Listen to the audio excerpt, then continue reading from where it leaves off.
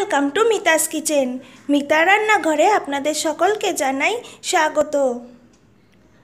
নমস্কার বন্ধুরা, আমি আজকে আপনাদের সামনে উচ্ছের একটি রেসিপি নিয়ে এসেছি। আজকে আমি বানাচ্ছি উচ্ছে আলু পোস্ত। উচ্ছে আলু পোস্ত বানানোর জন্য আমি এখানে দুটো মিডিয়াম সাইজের উচ্ছে লম্বা লম্বা করে সরু সরু করে কেটে নিয়েছি। দুটো আলু লম্বা লম্বা করে পাতলা পাতলা করে কেটে নিয়েছি। চারটে লঙ্কা মাঝখান থেকে ফেরে নিয়েছি। দু চামচ পোস্ত বাটা নিয়েছি, হাফ চামচ চিনি নিয়েছি আর ফোড়নের জন্য নিয়েছি কালো জিরে।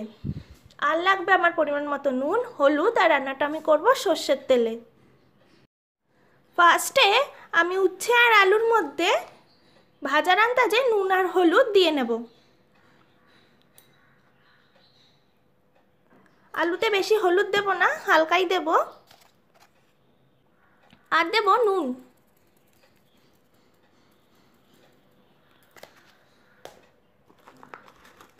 নুন আর হলুদ দিয়ে উস্তে আর আলুটাকে ভালো করে মাখিয়ে নেব।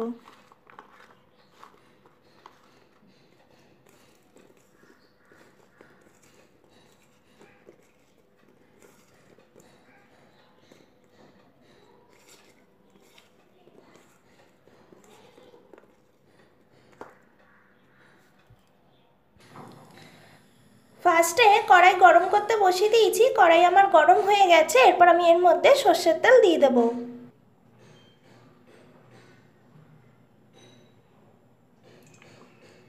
তেল দিয়ে আগে তেলটাকে ভালো করে গরম করে নেব। তেলটা আমার গরম হয়ে গেছে, এরপর আমি এর মধ্যে উস্তেগুলো পাঁচটা দিয়ে উস্তেগুলোকে ভেজে নেব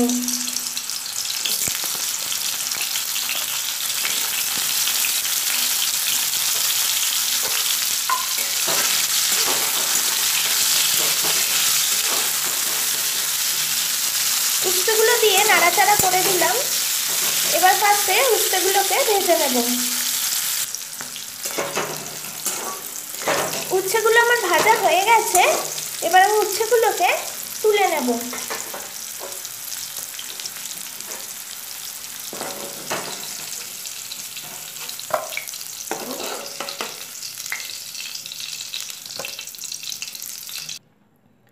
উচ্ছেগুলো তুলে নেওয়ার পর কড়াইতে আমার তেল আছে, এই তেলের মধ্যে ফার্স্ট আমি কালো জিরেটা ফোড়ন দিয়ে দেবো।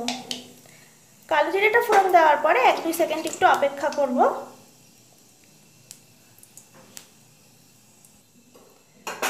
এক দুই সেকেন্ড পর এবার এর মধ্যে আলুগুলো দিয়ে দেবো।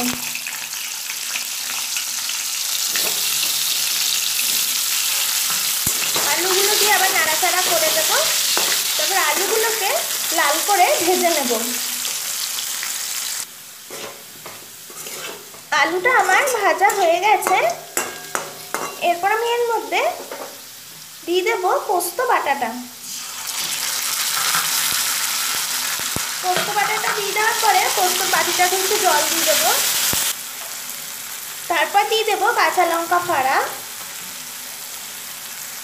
দেব নুন। নুনটা আমি আমার আন্দাজ মতো দিলাম। আপনারা আপনাদের আন্দাজ মতো দেবেন। আর দেব হলুদ। আমি হাফ চামচের মতো হলুদ দিয়ে দিলাম। আর দিয়ে দেবো চিনিটাও। দিয়ে এবার ভালো মতো মশলাটাকে কষিয়ে নেব। আলুটাকে ফার্স্টে ভালো মতো নাড়াচাড়া করে এরপর আমি এর মধ্যে উস্তে, ভেজে রাখা উস্তেটাও দিয়ে দেবো। উস্তের আলুটাকে এবার মশলার সাথে ভালো মতো কষিয়ে নেব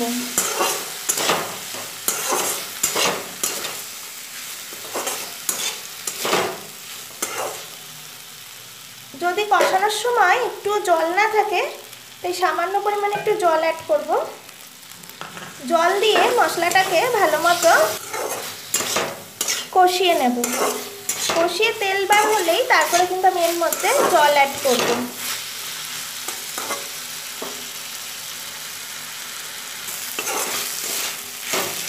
কষে কিন্তু আমার মশলাটা তেল বেরিয়ে গেছে, এরপর আমি এর মধ্যে জল অ্যাড করব। আমি ছোট বাটির হাফ বাটি জল দিলাম। জল দিয়ে আবার ভালো মতো নাড়াচাড়া করে দেব। ভালো মতো নাড়াচাড়া করে ফার্স্টে ঝোলটাকে ফুটিয়ে নেব। ঝোলটা ভালো মতো ফুটে এসছে, আবার ভালো মতো নাড়াচাড়া করে দিলাম হালকাভাবে। নাড়াচাড়া করে দেওয়ার পর এবার গ্যাসের আঁচটাকে সিম রেখে পাঁচ মিনিটের জন্য ঢাকা দিয়ে রেখে দিলাম। পাঁচ মিনিটের জন্য ঢাকা দিয়ে রেখেছিলাম, পাঁচ মিনিট হয়ে গেছে, এবার ঢাকনাটা খুলে নেব। ঢাকনাটা খুলে আবার হালকাভাবে একটু নাড়াচাড়া করে দেব। মাঝখানে আমার নুন মিষ্টিটা ঠিক আছে নাকি একটু চেকে দেখে নেব। আলুটা উস্তেটা দুটোই কিন্তু আমার সেদ্ধ হয়ে গেছে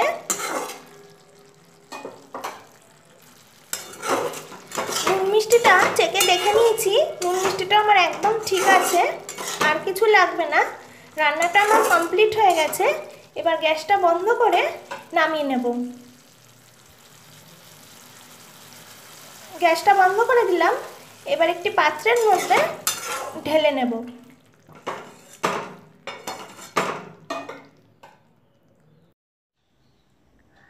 তৈরি হয়ে গেছে আমার আজকের রেসিপি উস্তে আলু পোস্ত। রেসিপিটা আপনাদের কেমন লাগল নিচের কমেন্ট বক্সে অবশ্যই জানাবেন। ভিডিওটি যদি ভালো লেগে থাকে, ভিডিওটি লাইক করুন শেয়ার করুন আর আমার চ্যানেলকে সাবস্ক্রাইব করতে একদমই ভুলবেন না। আরও নতুন নতুন ভিডিও দেখার জন্য নমস্কার।